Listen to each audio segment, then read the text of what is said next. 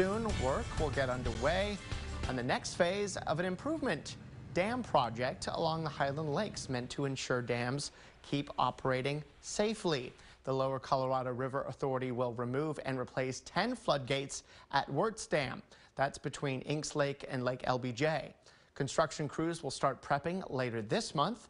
Work on each floodgate will take two months, so the $76 million project should be complete in two years. Now, for some perspective on the need, dams along the Highland Lakes play a critical role in managing floodwaters.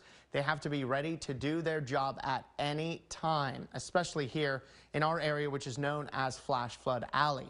Upgrades at Lake Buchanan were complete a little over a year ago. One of the main improvements was the addition of dedicated hoists to quickly raise a floodgate to allow water through in the event of excessive rainfall. One area that